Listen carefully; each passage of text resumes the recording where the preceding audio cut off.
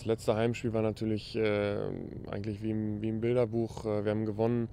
Mein Abschied war, ich habe gespielt. Ähm, wir, haben, wir haben den Klassenerhalt feiern können. Äh, ich konnte mich äh, gut von den Fans verabschieden.